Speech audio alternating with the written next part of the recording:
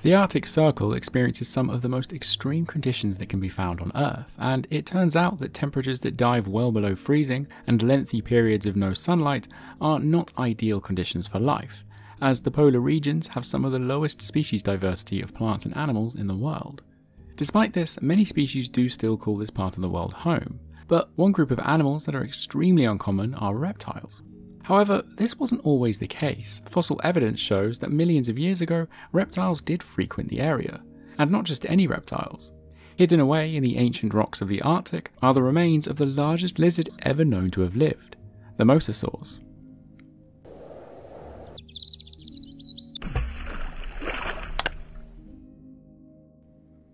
Mosasaurs were the last of the giant marine reptiles to evolve, and are actually very closely related to lizards, and technically are actually just giant aquatic lizards.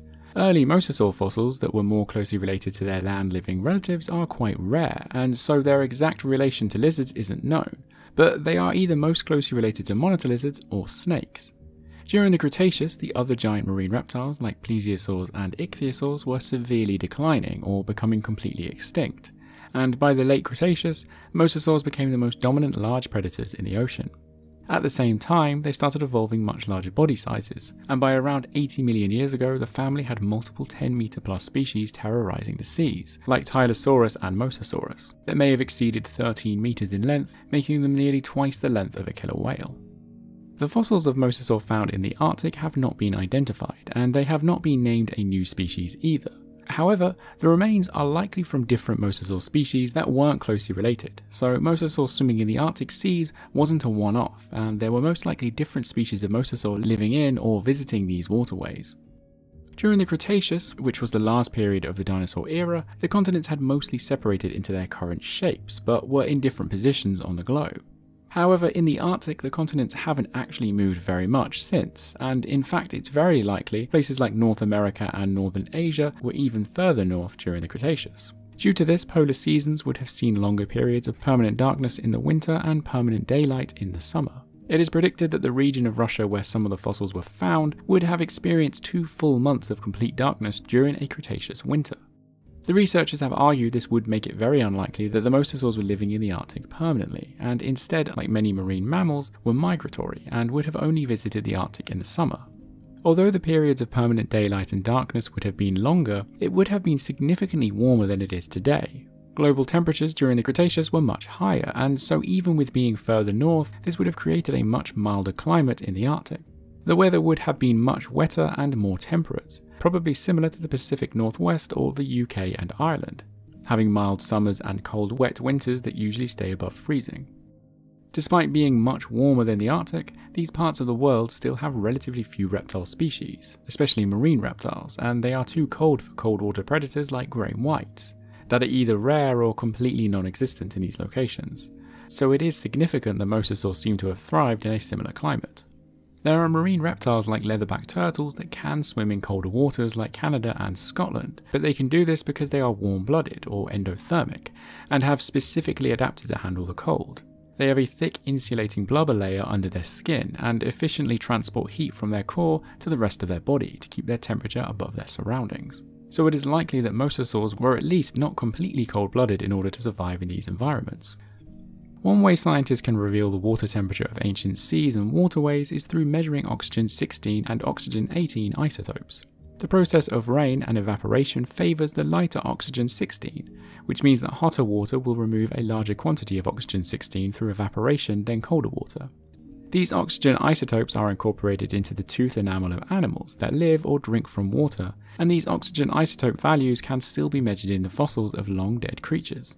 This can provide insights into an individual animal's environment and diet, but also whether they had some control over their own body temperature. Tooth enamel of warm and cold blooded animals shows different values as these creatures are holding their internal temperature above their surroundings. One study compared the oxygen isotopes in the teeth of three different mosasaur species and a collection of different marine animals and seabirds at the same time as a control. The mosasaurs were three different sized species to represent a small, medium, and large mosasaur. It has been argued in the past that some large marine reptiles and even dinosaurs may have been able to weather cold climates just by being really big, because the body temperature of large animals does tend to be more stable and less changeable with their environment. so having different sizes would account for this. Among the other animals used in the study was a prehistoric turtle and fish that were examples of cold-blooded animals from the time period, and the warm-blooded animals were two late Cretaceous seabirds named Ichthyornis and Hesperornis. Hesperornis being a flightless bird that had adapted to become mostly aquatic like penguins. Both these birds still had teeth that could be studied, as although toothed birds are now extinct, they were still very common in the late Cretaceous. The study found that the fish had a relatively low body temperature that would have been similar to the sea temperature of its environment at the time, whereas the prehistoric seabirds had a much higher body temperature that was probably comparable to modern seabirds. The mosasaur species averaged somewhere in between, but closer to the seabirds, offering good evidence that mosasaurs had ways of holding their internal body temperature above their surroundings.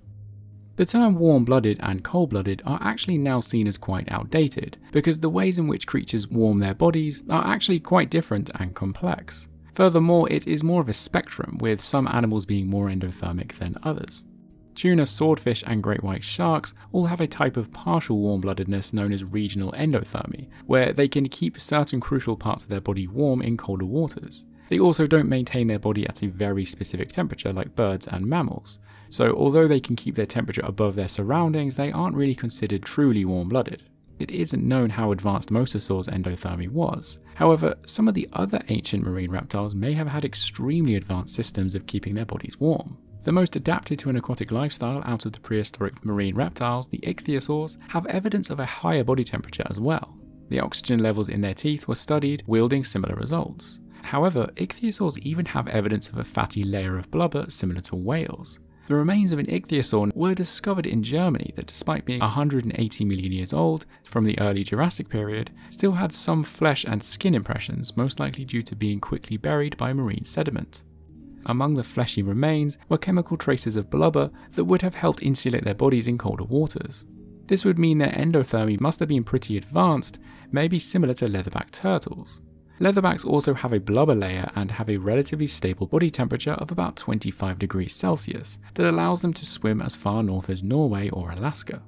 They are also generally more active than other turtles and reptiles, so their behaviour may have been more similar to the ancient marine reptiles. Even plesiosaurs have fossils found in various parts of the Arctic and near Arctic, including some fossils that have been identified as unique Arctic species. Similar to the other marine reptiles, it is possible plesiosaurs were warm-blooded also. Plesiosaurs have very rapid bone growth in their early development, which was much faster than what is normal for reptiles, and more comparable to birds and mammals.